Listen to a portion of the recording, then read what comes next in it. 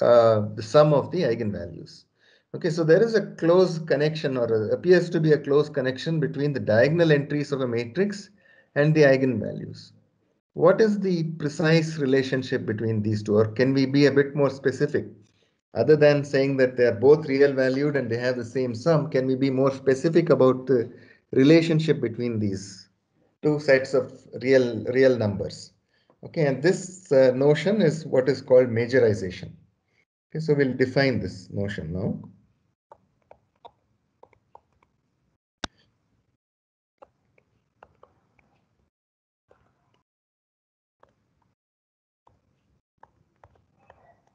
By the way, the word majorization uh, also appears in the context of um, uh, optimization, but that's a different notion. Don't get confused. This is a notion of measure majorization that we are defining here in linear algebra.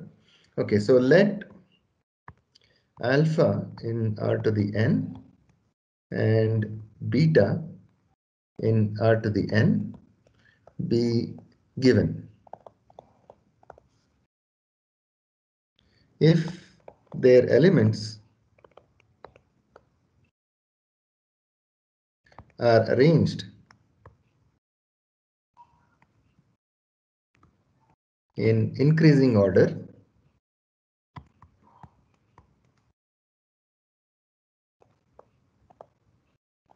meaning that alpha j1 less than or equal to alpha j2 less than or equal to less than or equal to alpha jn. So these are the indices where the j1 is the index in alpha for which uh, the corresponding entry in alpha has the smallest value and jn is the index for an entry in alpha where the corresponding entry of alpha has the largest value. And similarly beta. So beta say m1 less than or equal to beta m2 less than or equal to beta mn.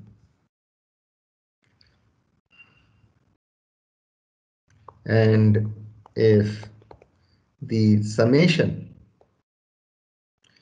i equal to 1 to k beta mi is greater than or equal to sigma i equal to 1 to k alpha ji for every k equal to 1, 2 up to n. And if equality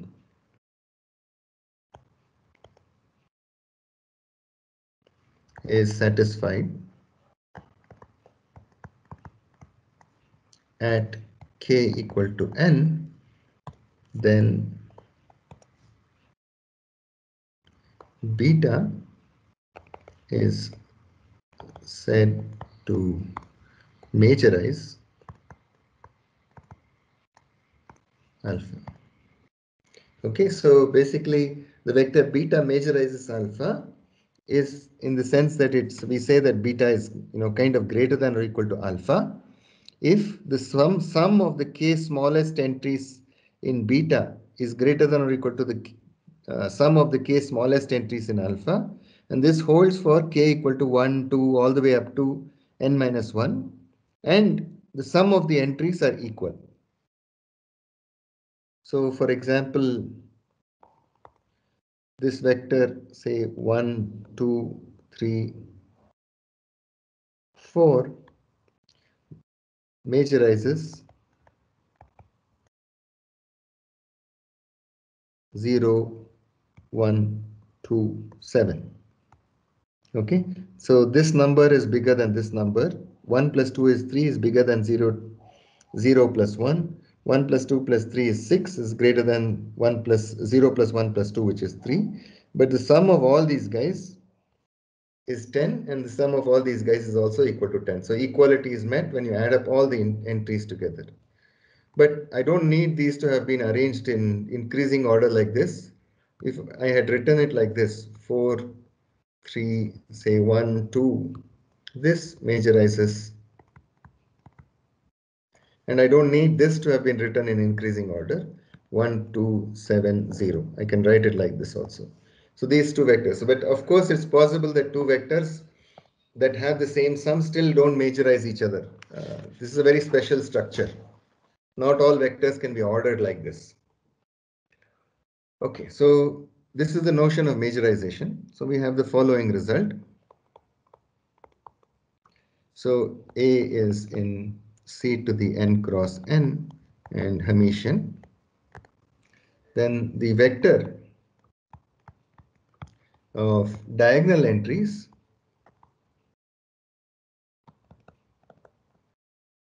of A majorizes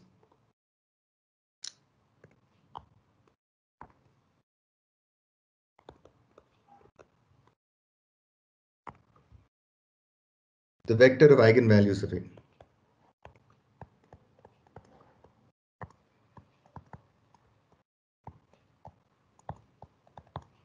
That means that if I take the smallest diagonal entry of A, that will still be greater than or equal to the smallest eigenvalue of A. If I take the sum of the two smallest diagonal entries of A, that will be greater than or equal to the sum of the two smallest eigenvalues of A and so on. Now, uh, back down, we're making a picnic. So let's quickly prove this.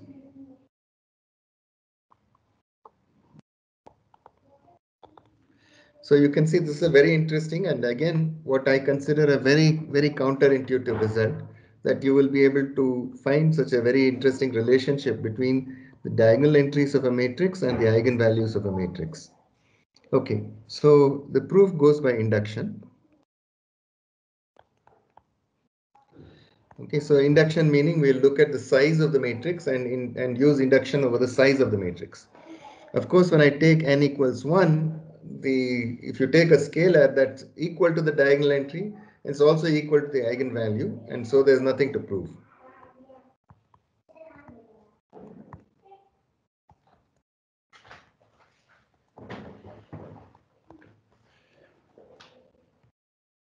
Okay, now suppose this result holds.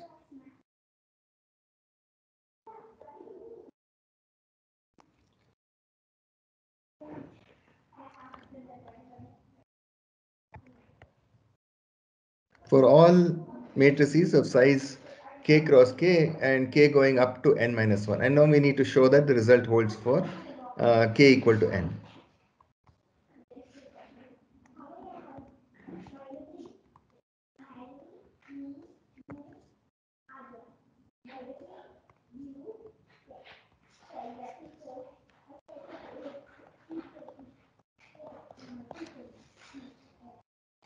Okay, now we need to show that this result holds for n. So let uh, A be an n cross n matrix.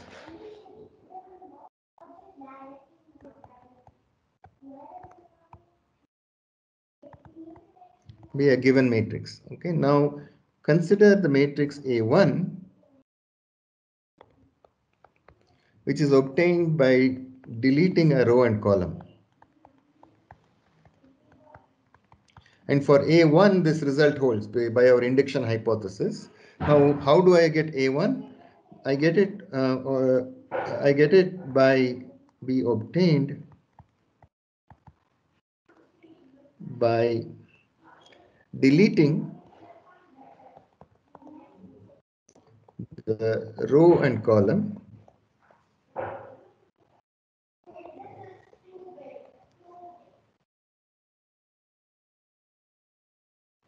oh, corresponding to the largest diagonal.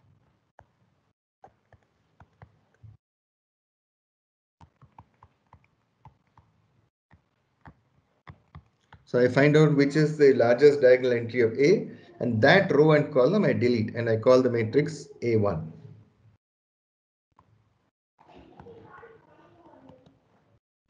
So now if you are fleet footed, you are already seeing how this proof will go. So now the A1 is obtained by deleting a row and column and so we'll use the interlacing result. Okay, so let um, lambda 1 less than or equal to less than or equal to lambda n be the eigenvalues of A and lambda dash 1 less than or equal to lambda dash n minus 1 be the eigenvalues of A1.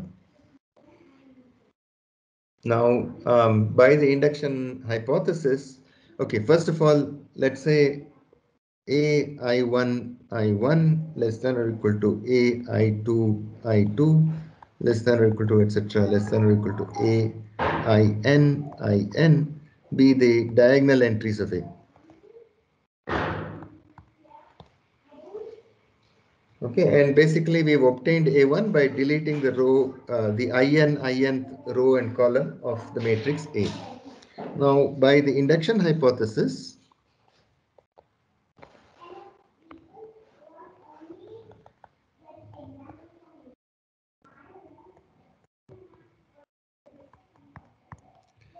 um, summation i equal to 1 to k a i j ij. So the diagonal entries arranged in increasing order of the matrix A is the same as the diagonal entries of the matrix A1 arranged in increasing order. So I can write Aij Ij here. This is greater than or equal to sigma j equal to 1 to k lambda dash j. And this is true for k equal to 1 through n minus 1. So this is just directly from the induction hypothesis. Now, from the interlacing theorem,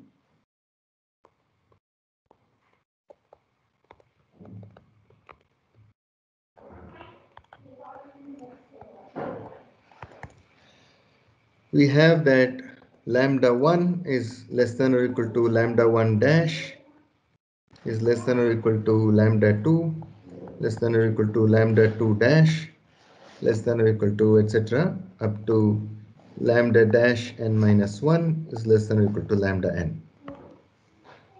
Okay, so that means that if I'm taking the first k guys here, okay, instead if I add up lambda 1 through lambda k, I'll get a, each of these lambda 1 dash is greater than or equal to lambda 1, lambda 2 dash is greater than or equal to lambda 2 and so on. So I can write sigma j equal to 1 to k lambda dash j is greater than or equal to sigma j equal to 1 to k lambda k lambda j. And this is true for k equal to 1 all the way up to n minus 1 and so this inequality continues to hold with lambda j this summation j equal to 1 to k lambda j sitting here So sigma j equal to 1 to k a i j i j is greater than or equal to sigma j equal to 1 to k lambda j. And this is true for k equal to 1 through n minus 1. But equality certainly holds because the trace equals the sum of the eigenvalues.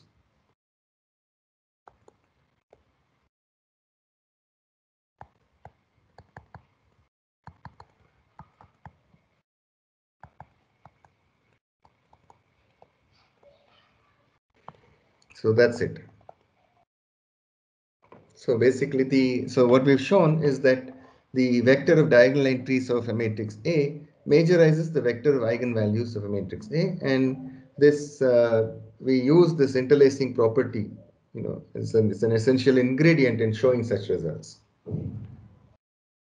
Now um, majorization is actually very useful in expressing the relationship between the eigenvalues of uh, the sum of a matrix and the individual components. So for example, uh, if you recall, we've seen results like um, uh, lambda k of A plus lambda 1 of B is less than or equal to lambda k of A plus B is less than or equal to lambda k of A plus lambda n of B.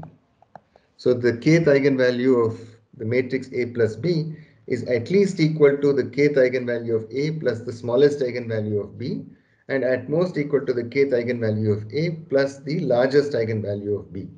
And if B is positive semi-definite, then this is non-negative. So we have lambda k of A is less than or equal to lambda k of A plus B. And we also have that lambda j plus k minus n of A plus B is less than or equal to lambda j of A plus lambda k of B. So these are some results that we have seen earlier. So, um, so in this context, we have uh, two more results that I'm just going to state because we don't have time to do the proofs right now. But um, uh, these are results that talk about uh, majorization type relationships between eigenvalues of the summands to the eigenvalues of the sum of the of two matrices. So the first result is the following.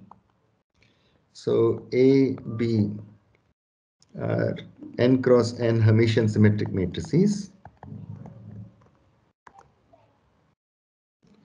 So let lambda of A be a vector, okay, and its entries are lambda i of A. And lambda of B be another vector whose entries are lambda i of B. Okay, and similarly, lambda of A plus B is a vector with lambda i of A plus B as its entries. And uh, so these denote column vectors in R to the N with components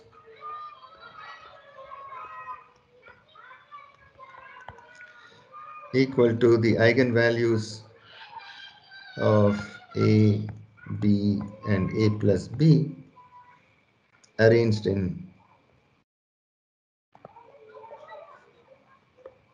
increasing order. Okay, this is very important. Okay, they are arranged in increasing order.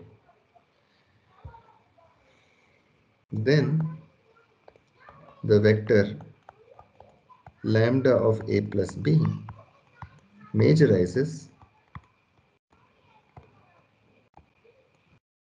lambda of A plus lambda of B. Okay, and so that's one result. Um, so it talks about a more precise relationship between the eigenvalues of A plus B and the eigenvalues of A and the eigenvalues of B. But what you have to do is to arrange the eigenvalues of A and B in increasing order and then add them together. Then this vector of eigenvalues of A arranged in increasing order majorizes the vector of lambda of A plus lambda B. Okay, then we also have the following converse result.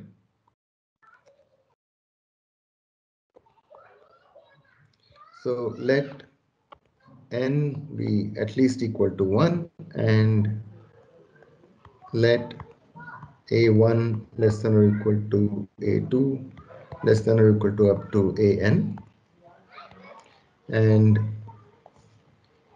lambda 1 less than or equal to lambda 2 lambda n. So imagine that these are some diagonal entries and these are some eigenvalues.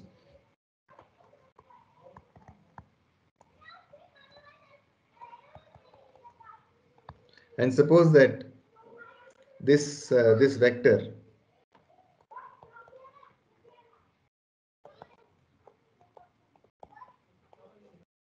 Majorizes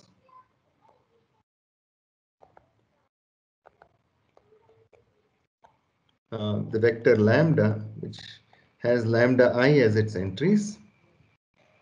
Then there exists a real symmetric matrix